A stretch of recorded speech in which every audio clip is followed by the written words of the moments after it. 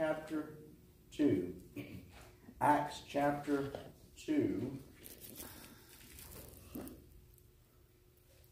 Acts chapter 2 and go to verse uh, 42. I'll get there myself. But uh, uh, community life. And uh, have you ever noticed uh, of a, a, company or so that's ever, uh, when they have new employees, they do some special things of, uh, to help new employees come together, uh, maybe to learn about the business or learning what they're getting themselves into. Sometimes, uh, somehow, some way to connect the new employees uh, to the previous ones, but to, to know about to uh, the, the values or maybe the culture or the expectation or of a company. Uh, they might do a little orientation. Have y'all ever mm-hmm. heard about a, uh, how jobs will do orientation? Uh, uh, to see what they what they need to do with employees, or or provides tools or, or, and skills that they need to be successful and uh, productive in the organization. Have y'all heard about about mm-hmm. that?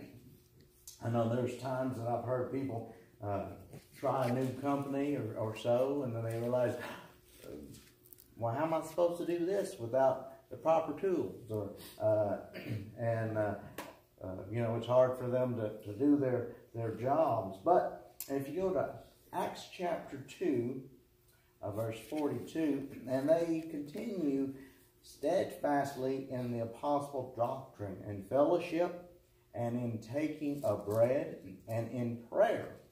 Forty three. And fear came upon every soul, and many wondered and signs were done by the apostles. and all that believed were together and had all things common, and sold their possessions and goods and parted them to all men as every man had need.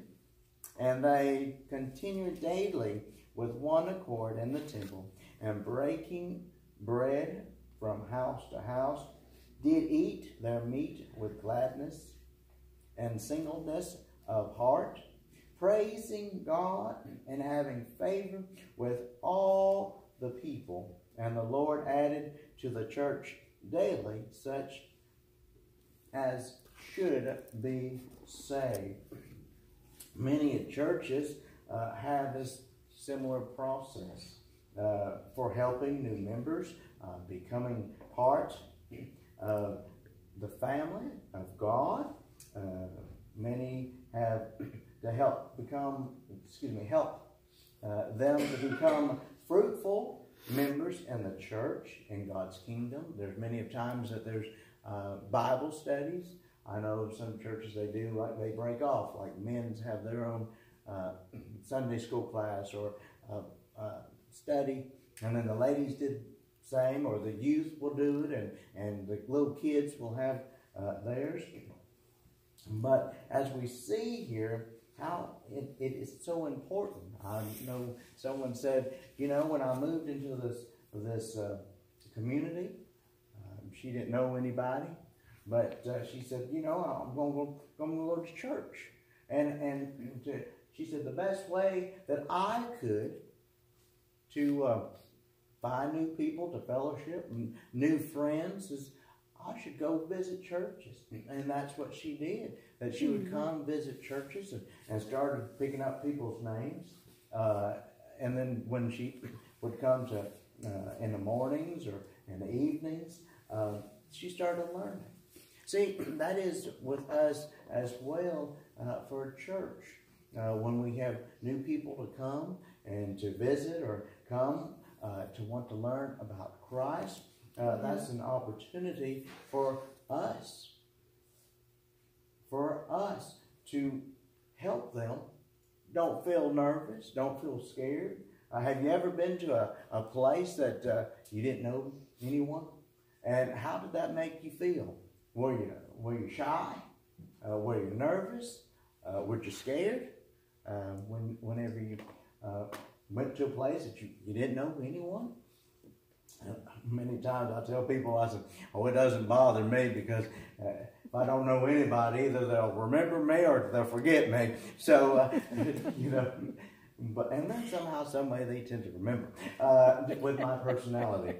Uh, but it is, uh, it is, it's it's our job to, and not just a church, but maybe a community mm-hmm. as well. When new people come in, uh, how can we uh, help them? How can we witness to them? How can we love them? Uh, even if it's just to go down and, uh, you know, introduce ourselves, because now I've heard uh, from the community that, you know, what times are different than what it used to be. Used to be, you knew everybody from each house. And I remember hearing people say, oh, you know, the Smith lived over here, or, you know, the Grace, or, you know, just the name. The Joneses lived over here. And all of a sudden now you get new people coming in. Oh, we have no idea who they are. You know, it's, it's a new family.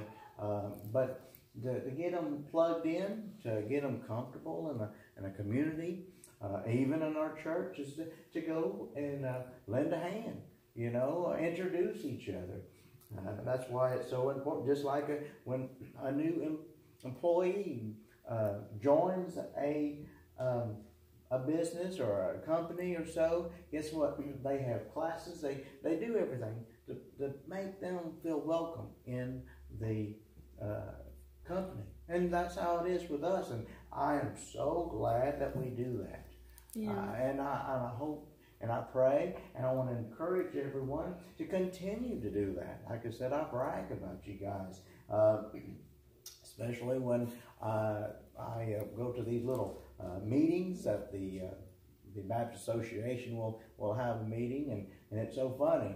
Uh, when I have my hand out and you know I haven't seen someone in a long time and they'll say, "Oh my goodness, uh, you know, you're just blowing up my Facebook page. Uh, you know that the, your church is growing. You know, and I said, well, God's church is growing. I don't take no credit. Or they said, what's going on in Roxton? Because you, you got people joining the church. What's going on? I said, it's not me. I'm telling you, it's not me. It's God's word. Uh, there's people out there that's hungry for it. Uh, right. And as long as we preach it, people will, will come. But it is. It's, it's really neat uh, how that uh, people are seeing what's going on. And I want to continue uh, to do that, uh, to encourage. Like I said, I brag about you guys. Uh, I said, oh, man, I said, it's just, uh, it's the love. It's the love and God's light that's in here. And uh, many times I've heard there's something different, you know, that, or maybe someone has visited before in the past, but then they came back and they're like, wow, it's different. You know, what's going on, or they see, wow, a lot of people in here. But then it's like, what what can we do? Like especially the little kids. You know, how can we get them plugged in? How can we continue to give them, uh, you know, the, the, Word of God? Uh, you know, what can they learn from us that they can take maybe to tell someone else? Uh, but believers in the church in Jerusalem were devoted uh, for four uh, central of the community life. And the instructions for the apostles was the teaching of the leaders had received from Jesus. The instructions were to fellowship was the ongoing gathering of believers sharing life together, so fellowshipping with one another. Uh, you know, when we see each other, I know times that schedules conflict with one another, but that's why it's so important to fellowship with one another. Uh, breaking the bread may have involved sharing meals, uh, but likely including like the Lord's Supper. Uh, that's why it's so important. I think whenever we have fellowship, when we well, we can eat with one another. It, it is really neat to see everybody sit down and eating with one another. And uh, in prayer, uh, we uh, I believe prayer is so important, uh, especially when someone is sick or somebody's going through a, a rough time. That prayer can be, uh, excuse me, that prayer could have been a part of public worship or together in their homes. So prayer is so important uh, that we, we must do continuously in our uh, church, uh, in God's church. Uh, so when they said here in verse 42, as they continue steadfast in, in the apostles' doctrine and fellowship, you know, in God's word, be, be solid as a rock on God's word and fellowship and in breaking of the bread and in prayer. They're so important uh, for us as a, a, church body and also as a community. Because uh, there's many times I've heard people say, well, who's your neighbor? I don't know. They, they moved in. We don't know. Um, or, you know, well, I've heard of a family come in and uh, do you know who they are? And the little kid, I, I don't know. Uh, so for us, that, uh, and I'm not saying that you should go by yourself, uh, but uh, as, as a church family, if we, we can, reach out, you know, continue to spread God's word no matter where we go and who we see. Prayer is so important, very, very important. Mm-hmm. Just the small amount of time that somebody may be going through a, a rough time, and you say, Let me pray for you. Uh, that's so uh, important and how it impacts people, especially if they're in their homes or nursing homes, and say, Hey, can I pray for you? Uh, just for a, a, short moment. You know, that really helps them and it helps you as well. So continue that. And, uh, uh, but it's so important for our community and a community life, um, not just here in Roxton, because uh, we branch out. Because guess what? Sometimes y'all go to Paris, sometimes you go to Honey Grove, uh, mm-hmm. Kilgore. Uh, so, I mean, there's many times we, we go places. Uh, so it's not just here in Roxton, but no matter where we see and who we talk to. Uh, these are some basic things, but yet they're important things. Be, be strong in God's word and fellowship, and then in, in prayer. Uh, it's so important for a community life. Let's pray.